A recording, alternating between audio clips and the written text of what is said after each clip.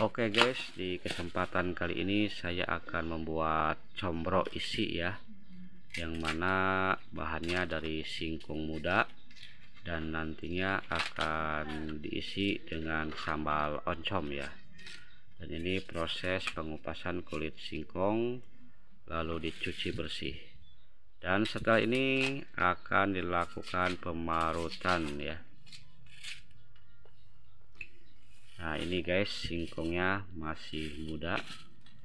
Dengan usia tanam 5 bulan. Tapi Alhamdulillah cukup besar-besar ya